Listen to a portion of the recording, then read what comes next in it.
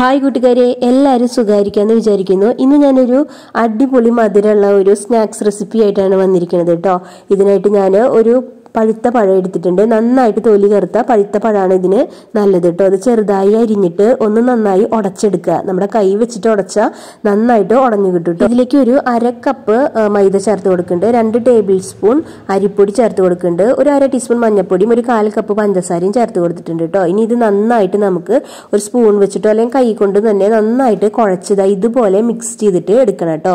ഇനി ഒരു ചൂടായ പാനിലേക്ക് വെളിച്ചെണ്ണ ഒഴിച്ചു കൊടുക്കുന്നുണ്ട് കേട്ടോ. വെളിച്ചെണ്ണ നന്നായിട്ട് ചൂടായ ശേഷം ഇത് ഈ സ്പൂൺ കൊണ്ട് ഇങ്ങനെ കോരി ഇതിലേക്ക് ഒഴിച്ചു കൊടുക്കുക കേട്ടോ കണ്ടോ? ഇതുകൊണ്ടാണ് ഇതിനെ നമ്മൾ സ്പൂൺ പഴംപൊരി എന്ന് പറയണത് കേട്ടോ ഇത് നമുക്ക് വളരെ എളുപ്പത്തിൽ ഉണ്ടാക്കിയെടുക്കാൻ പറ്റുന്ന ഒരു നല്ല മധുരമുള്ള പഴം വെച്ചിട്ടുള്ള ഹെൽത്തി ആയിട്ടുള്ള ഒരു റെസിപ്പിയാണ് കേട്ടോ നമ്മുടെ കുട്ടികൾക്കൊക്കെ കൊടുക്കാൻ പറ്റുന്ന ഒരു നല്ല റെസിപ്പിയാണ് അപ്പോൾ എല്ലാവർക്കും ഇത് ഇഷ്ടമായി എന്ന് വിചാരിക്കുന്നു. അപ്പോൾ എല്ലാവരും ഇതൊന്ന് ട്രൈ ചെയ്ത് നോക്കുക. ഇഷ്ടപ്പെട്ടാൽ ലൈക്ക് ചെയ്യാൻ മറക്കല്ലേ?